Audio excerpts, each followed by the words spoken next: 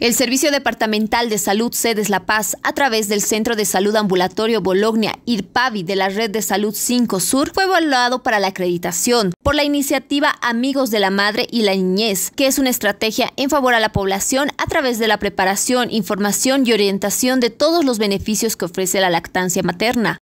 Nos encontramos en el Centro de Salud Bologna IRPAVI en una actividad muy importante que es la acreditación de la iniciativa Amigos de la Madre y la Niñez, que es una estrategia muy amigable, muy bonita, donde la población principalmente es la beneficiaria, la mayor beneficiaria, porque lo que se quiere llegar es como establecimiento de salud, atenderlas, orientarlas, prepararlas de todos los beneficios que ofrece la lactancia materna. Hemos tenido la visita el día de hoy de un comité evaluador del Comité de Lactancia Materna, es un comité externo.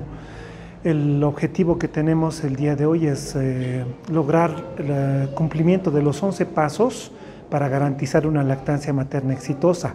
El personal de salud del establecimiento realizó un arduo trabajo para cumplir con los requisitos de las normas sobre la lactancia materna y así lograr que su centro de salud esté acreditado.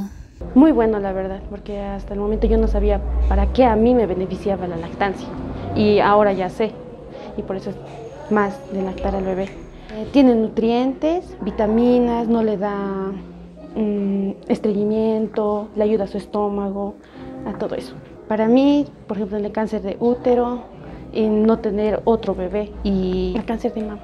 Muy buena, muy buena, nos ha informado en cuanto a cómo tenemos que dar de lactar, las posiciones, eh, qué beneficios nos trae este, los tres a cuatro días que tenemos la leche de oro que le dicen, ¿no? No sabía yo eso, la leche de oro que había sido el calostro y había sido bueno, dice esa leche, es como el eh, bueno, había sido el alimento muy bueno para el bebé que está de entre 3 a 4 días, es lo que me informaron. Gracias por la capacitación, ya, ya me he informado más y voy a informar todo lo que he aprendido a mis amigas y a mis hermanas. Se han ido despejando cada día de cada duda que teníamos nosotros como mamás no siempre seamos las primerizas, sino también como segundo, como el segundo bebé aprendemos cada día un poquito más.